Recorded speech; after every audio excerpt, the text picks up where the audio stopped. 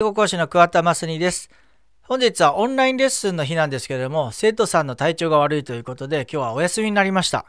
しかし、この時間、レッスンの時間を取っていたので、えー、代わりにこの動画で解説させていただこうかなと思っております。よろしくお願いします。はい。今日解説させていただくのはですね、副詞の内容ですね。はい。副詞とは何かということなんですけども、はい。だいたい M というふうに、えー、説明するんですけどもね。はい。英文の要素としましては S、V、O、C とね、はい、主語、動詞、目的語、保護とあるんですけども、それ以外のものを M と表現しております。はい、M は何かというと、モディファイアの略で、はい、就職後というものですね。ただ、日本語の就職後とはちょっと違うので、そのあたりも踏まえた上で解説させていただこうかなと思っております。はい。まあ、主要な品詞としまして、名詞、動詞、形容詞、副詞とあるんですけども、はい、その副詞ですね。何かというと、メインにはその文を飾り付ける、はい、肉付けするものですね。で、文の主要の要素ではないんですね。だから、なくても成立するもの。ただし、あった方が表現が豊かになる。そういったものですね。はい。で、副詞と言っても5つ種類がありまして、まず何があるかというと、時間を表す副詞というのがあります。はい。たとえー、then っていうね、例えば then に置き換えられるものですね。at one o'clock とかね。はい。そういった、ちょっと書きましょうか。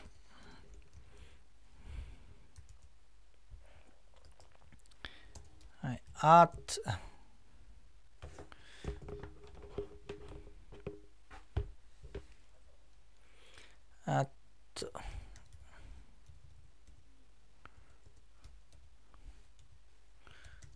one or at one o'clock はい、こういう、えー、塊ですね。前置詞プラス名詞の塊。これも副詞と言います。副詞句ですね。正しくは。副詞句。こういったもの。はい、一時にという部分なんですけど、これを then に言い換えられますね。はい、これが副詞句。時間の副詞句というものですね。ちなみにこれが副詞そのものですね。一単語で時間を表すものが副詞。そして複数集まって塊となすものを句と言いますので、これが副詞句ですね。副詞句。はい。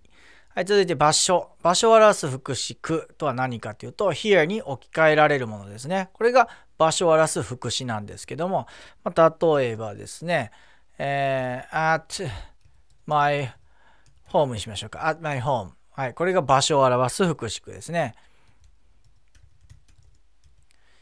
はい、続いて3つ目。はい、程度。もしくは様態ね。様子と状態。これを合わせて様態と言いますけど、はい、程度や様態を表すもの。はい、これも副詞句、副詞の一種ですね。はい、動詞、形容詞、副詞を説明するもの。はい、例えばどんなものがあるかというと、よく皆さん使うのが very ですね。very。はい。で、えー、例えば動詞を説明するのであれば、えー、そうですね。very あはい。例えばですね、えっ、ー、と、はい。こっちに書こうか。はい。run、えー、run fast。こんな感じですね。run fast。走るのが速い。走るという動詞がどれだけ速いのかというと fast なんだよってね。run fast。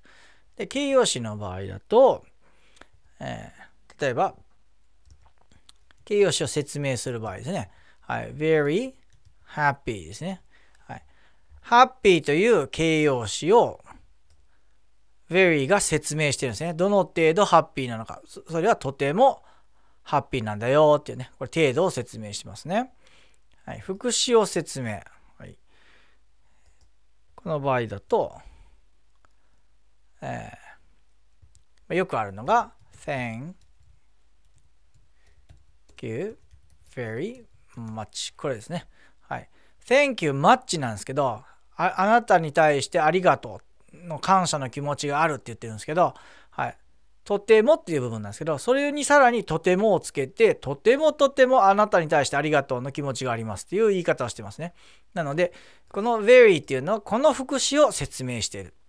で、この副詞は何を説明しているかというと、thank っていう何々に感謝するという動詞を説明してるんですね。なので、こいつはこいつを説明。で、こいつはこいつを説明っていう相関図が成り立ちますね。はい。こういったものです。はい。そして、頻度。頻度を表す副詞は何かっていうと、うん、また run を使いましょうか。I, I run だけでもいいんですけども、これが I or always run っていう風にすると。はい。そうすると、はい。私は走るんだけど、それがどの程度の頻度なのかっていうと、いつも always になるわけですね。はい、これが、えー、頻度の、えー、副詞ということですね。はい、ちなみにこれは動詞を説明するんですね。run っていう動詞を説明します。はい、これが例えば、はい、I sometimes run だと私はたまに走るっていうふうになりますね。はい、この動詞がどの頻度で行われているのかっていうのを説明するのがこの sometimes ですね。はい、つまり頻度を表す副詞っていうことですね。はい。これまた空でもいけるんですよ。空で表す場合は once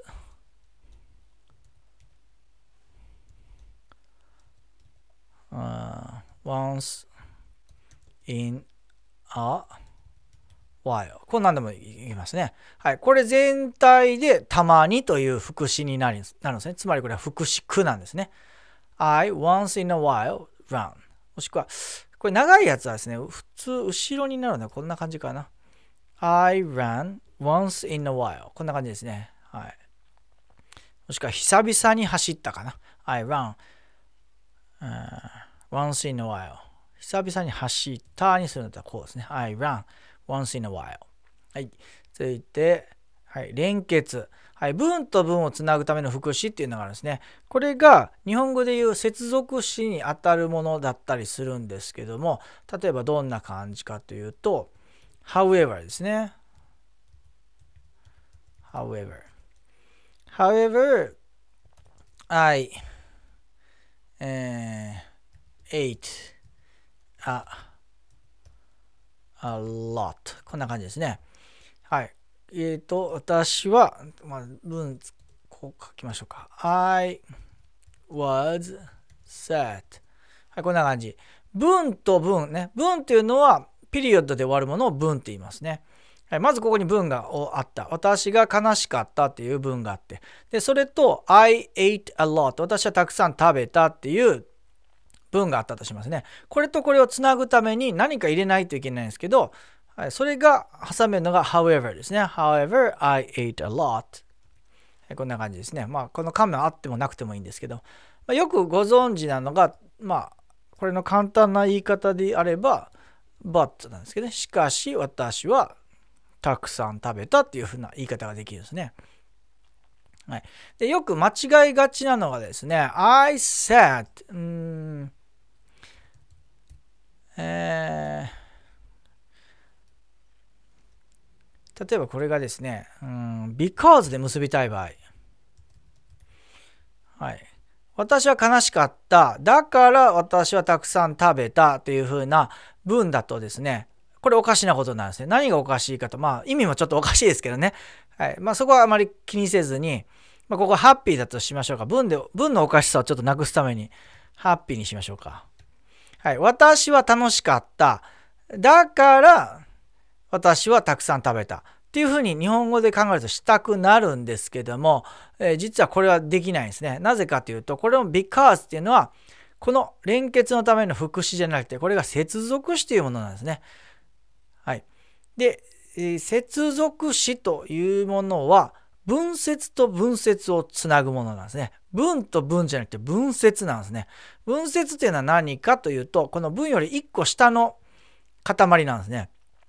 はい、必ずしもピリオドで終わらなくてもいいっていうのが分節でして、例えば間まで区切るやつね。それが分節なんですけども、これを正しく言いたい場合はですね、はい、独立したこの文と文をつなぐことはできないんですよ。この because は。なぜならば接続詞だから。じゃあどうやってつなぐかというと、はい。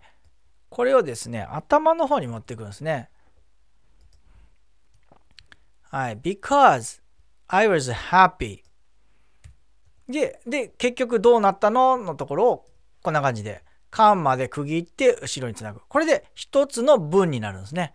はい。文節っていうのはこれですね。分節。で、ピリピリオドじゃなくてカーマで割るのが分節。で、ここにはもう一つの分節があると。これをつなぎたい場合ですね。because I was happy 私は楽しかったので私はたくさん食べたっていうことですね。はい。一番大事なのはこっちなんですね。オチの部分ですね。だからどうなのかの部分ですね。その理由のところはですね、従属説といって、実は、えー、まあ、あの、大きな M に当たるもんなんですけど、ここはあんまり今気にしなくていいんですけど、まあ、理由の部分はあんまりいらないよと。最悪ここだけあれば成立するよっていうことですね。なぜならば、ここだけ訳すとですね、私は楽しかったので、で、終わりなんですね。はい。なんか気持ち悪くないですか？日本語で言っても。はい。なので、ここでは成立しないんですね。しかし、ここだけだと、どうでしょう。私はたくさん食べた。これは別に物足りない感ないですよね。だから何とかじゃなくてもう何かをも言ってますよね。しかし、こちらの場合は、なぜならばとか、のでっていうのを付け足したがために、オチの部分が気になっちゃうんですね。私は楽しかったので、じゃあ続きどうぞってなるじゃないですか。はい。ということで、こっちが、えー、主じゃなくて服の部分ですね。従属というね、はい、従ってる部分。で、こっちが主説。正しい部分っていうことですね。長い文作るときに主説と従属説っていうのを作って、英文が長くなっていくといったこともあります。はい。ちょっとこのね、関係性が見づらい場合はですね、こうしてもいいんですよ。これを取って、ここにくっつけると。で、まあ、これを小文字にしてですね。はい。I ate a lot because I was happy ですね。はい。こうすると、先ほどのカンマが必要なくなるんですね。はい。これが本来の文の形なんですね。あ、これがピリオドですね。うん。はい。私はたくさん食べた。なぜならば私はハッピーだからです。ハッピーだったからですっていう感じで。はい。まあ最悪ここで終わってもいいんですよ。で、その理由は何かっていうのは後付けしてるんですよね。で、この後付けの部分を先に言いたくなる。強調したいから頭に持ってきてるっていう解釈するとすっきりするかと思います。はい。ということでですね、この because を使った場合は一つの文の中で完結しなきゃいけないですね。はい。先ほど言った通り but とか however みたいに一個一個独立した文をつなげていくってことはできなくて、はい、一つの文の中でまとめて使いましょうっていうのが because ですね。はい。なんか似てるようで違うんですね。これも日本語で言うと接続詞じゃないですか。はい。でも、これ、これも接続詞に思えちゃうんですけど、実はこれは副詞っていうものなんですね。この however っていうのは。はい。じゃあ、どうやってこの文の中で使うか見ていきましょう。あ、で、まあ、結局この副詞というのは大きく分けて5つあるよということだけ覚えてください。時間、場所、程度、頻度、連結ですね。はい。じゃあ、こんな感じで使ってます。はい、SVOC を使うとですね、で、さらに、この12345の副詞を入れていくとこんな風になるんですね。はい。However, he sometimes makes me very happy at home in the morning. はい。朝、家で、彼はたまに私をとても楽しくさせるんですよ。しかしながらって感じですね。はい。じゃあ、これの中で、副詞。副詞はどれかっていうと、はい。まずこれですね。はい、これ。で、sometimes も副詞ですね。はい。で、very が副詞。はい。at my home。これ副詞。で、in the morning。これ副詞空ですね。はい。at home と in the morning というのは副詞空になります。おっと。はい。はい。こんな感じですね。えっ、ー、と、ちょっとわかりにくいので、ここ、ちょっとスペース入れておきましょうか。うん、はい、えー、はい。じゃあ、この however が何かっていうと、連結ですね。5ですね。はい、5。で、sometimes が頻度なので4。で、very が程度なので3。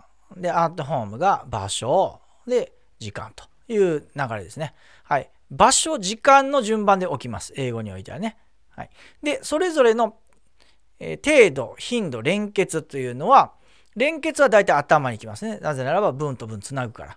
で、頻度というのは動詞の前に大体きますね。その動詞がどういう頻度で行われるのかですもんね。で、程度というのは、大体形容詞の前、もしくは副詞の前ですね。先ほどもあった通り、程度、副詞の前、このマッチの前だったりしますけども、very happy の前だったりもね。はい。ということで、えー、形容詞の前に来るのが程度の副詞ですね。はい、もしくは動詞だったり副詞の前に来ますけどね。大体前に来ますね。はい、動詞の前、形容詞の前ってね。はい、副詞の大体場所は決まっております。はい、こんな感じで見ると分かりやすいかなと思います。はい、逆にですね、あ、なのでこの関係性をですね、はい、えー、骨組みをだを見てみますと、S が He ですね。で、V が makes。で、O が me、私の部分ですね。で、C が happy と。はい、これが骨組みなんですよ。で、それにそれぞれ副詞がついてですね、こんなに長い文が出来上がるということですね。ですので、これを、副詞を削るとですね、こうなるんですね。えー、 very を削りまして、はい、これ、はい、これシンプルですね。He makes me happy. これが骨です。この骨に肉付けしたらこんな長くなるということですね。He makes me happy. これが、まあ、大文字になりますけどね。はい。この基本形、基本の骨組みの形を覚えておけば分かりやすいかなと思いますね。はい、副詞というのはそういったあの主要なね文の構成要素ではないんですけどもそれぞれの動詞なりえ、形容詞なり副詞についてですねその文をより詳しく説明するためにつけていくんですね。逆にそれがないと寂しい文になってしまったりもっと難しく言うようにしたりとかね表現豊かにしたい場に使っていくのでこれは非常に大事ですね。特にこういった副詞空ですね塊を見つける作業にも役立ちます。はいということではい、これが、えー、副詞の説明となります簡単ではありますけどこれ何回か見てもう一度学習してください。そしてこの、この表ですね、覚えておくと後々役立つので、是非ともこれはノートに取っておいていただければと思います。はい、ということで本日は簡単ですけれども、これで終わらせていただきます。ご視聴ありがとうございました。